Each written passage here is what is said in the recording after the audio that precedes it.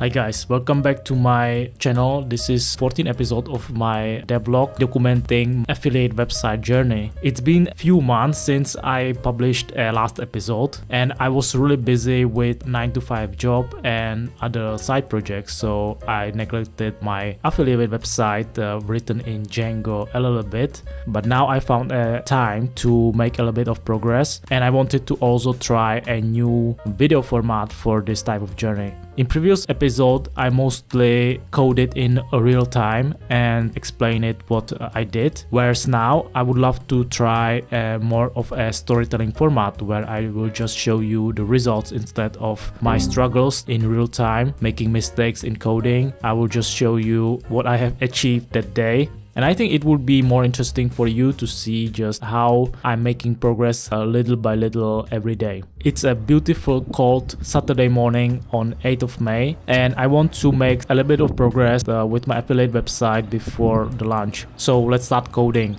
If you remember my last episode, I was exploring how to make a Wagtail homepage and I stood in front of the decision if I want to make a homepage using a Wagtail template or I should do just simple Django homepage instead. The thing is, with Wagtail homepage, you would have some advantages of using the Wagtail models and using their specific database fields such as stream fields, whereas if you develop plain Django template, you would have to code everything by yourself and you would miss the nice features that Wagtail offers. So after some soul seeking, I came to a resolution that for the homepage, which is basically a static page that just show you the navigation for your website, the best bet would be just to go with simpler Django template because I want my homepage to be a parent for all my sub pages that could be Wagtail pages or even uh, the pages that are written in uh, some of the JavaScript frameworks such as Vue or React. I don't know yet. So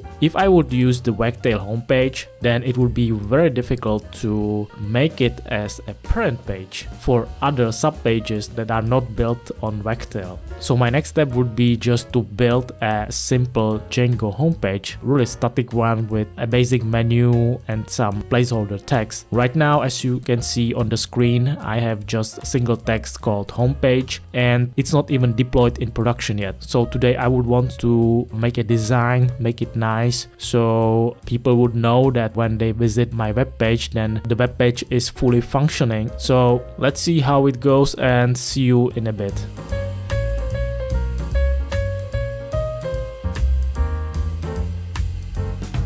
So I'm back, it's 15 p.m. and it's really sunny outside. So let me just quickly go through all the progress that I made since morning. When I thought about how to design a homepage, then the first thing that came to my mind is I need to use CSS styles to style and design nice looking homepage. And in the past, I was on the verge of using a Bootstrap CSS framework, which works fine out of the box. But this time, I wanted to do something more flexible, such as Tailwind CSS. I already tried Tailwind CSS in one of my other side projects, and it was a breeze to work with.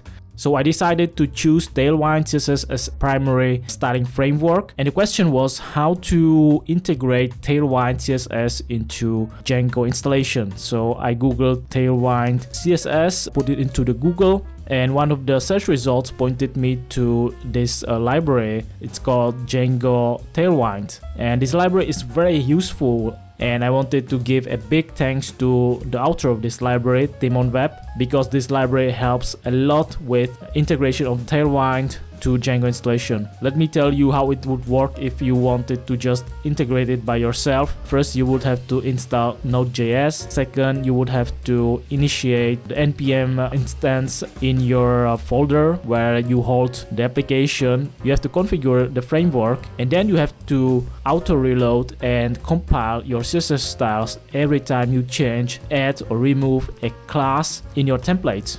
So this is a lot of headache for just the possibility of using classes as components. Thankfully, Timon Web made this Django Tailwind project and installation was really easy. So what do you want to do is to go to documentation website uh, django tailwind.readthedocs.io. There you will have the step-by-step instructions. So I installed this Django application with pipenv install Django Tailwind and then I add the Tailwind to the list of installed apps. On the third step, I was a little bit confused because it wants me to create a Django app for Tailwind functionality. And I thought that for each application that you want to use Tailwind for, you have to create a new application using the command tailwind init. And I thought that if I have a homepage application that already exists and I want to apply Tailwind in this application and its template, I have to create new Django application with the same name.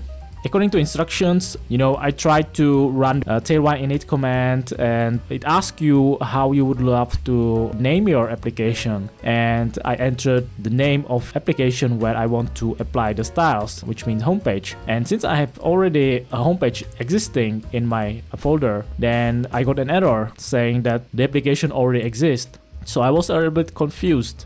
And it turns out that you don't need to creates separate Tailwind applications. The reason why everyone use Tailwind is you compile only those styles that you use in your templates and nothing more. So in the end, you will have a compact style sheet file with all the styles that you use in your templates. And with the reduced size, you increase the speed of loading of your application. So it made sense to create compiled CSS Tailwind file for each application separately. But apparently, it's not how it works with with Django Tailwind. What the Django Tailwind does is it provides a single point of contact for all the templates in all the applications in your Django installation. If you have multiple applications in your application use Tailwind styles, this library will take all the styles from all the templates from all the implications, gather it together, compile it into a single CSS style that loads every time someone visits your webpage. Because in the end, Tailwinds injects compiled file into the header,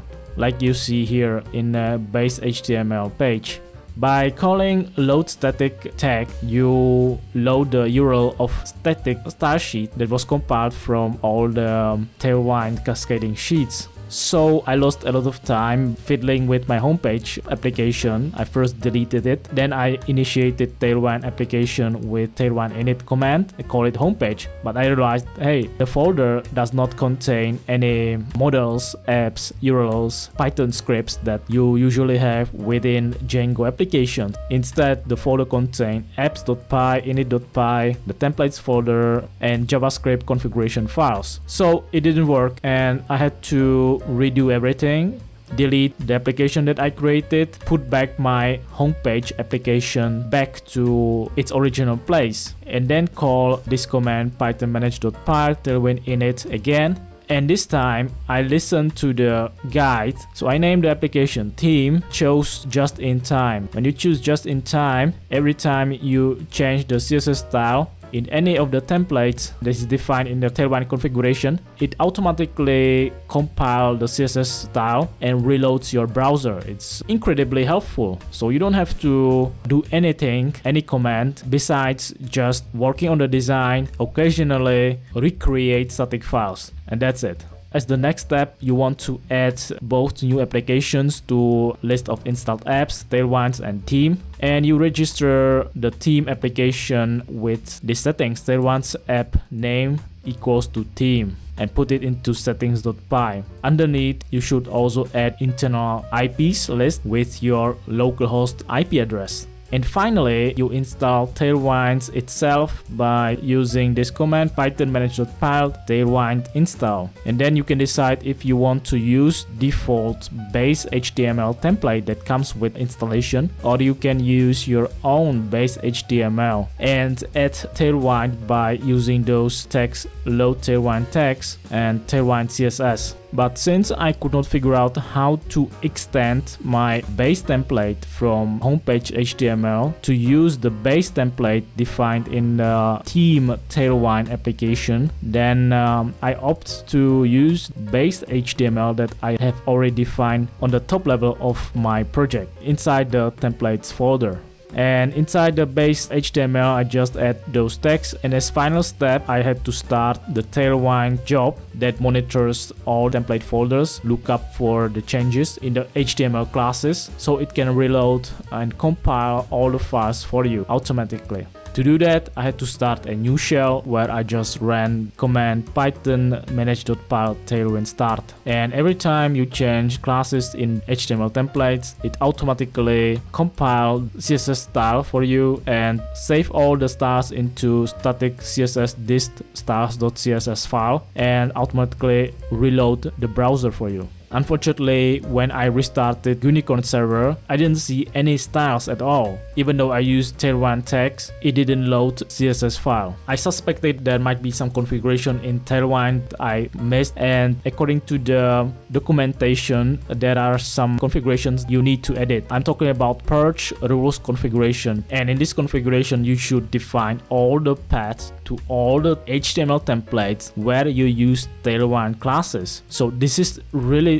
tedious process because the more templates you use, the bigger the list gets. And in the end, you might have a list of hundreds of HTML files that use Tailwind CSS styles. And the question is, by the time, how slow the compilation will be. Anyway, according to documentation, Tailwind can look up templates that are within Tailwind application, or it can monitor HTML files in other applications and it will also watch JavaScript files, Python files that might include Tailwind classes, which is really neat. So I thought that you need to add absolute path to HTML files, and I didn't understood how should I edit those paths it took me a while to realize that when you have two dots here, you should place name of the application where template is located. And in the place of the single dot, you will have to put actual name of HTML file.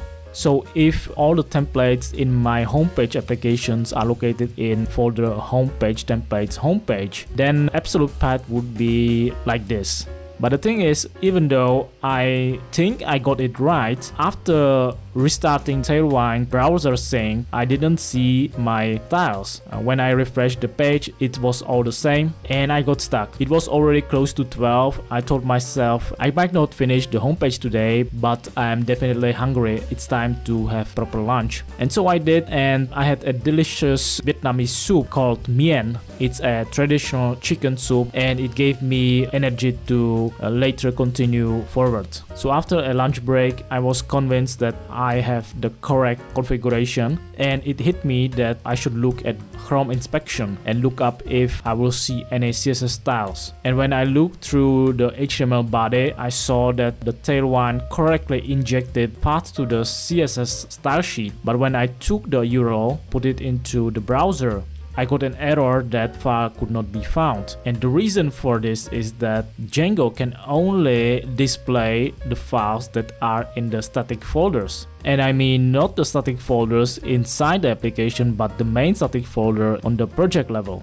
and to save all the static files from all the applications into static folder on the top level, you will have to run the command python manage.py collect static no input. What it does is that it looks through all the applications and it looks for static folders and it takes all the files that you defined in uh, the static files dirs setting and save it into main static folder on the top level. And once I restarted the server, visited URL where the style sheet is located, then I could finally saw all my styles that were compiled from the homepage. And about the homepage, I just simply visited the Tailwind CSS page and I copy pasted an example component into the homepage page. I checked that all the styles that I had in the classes were also present in uh, the star CSS. And this is the result. It looks just great. And I think that it was the good decision to ditch Bootstrap and go with Tailwind because now I can flexibly create any design I want without significantly modify or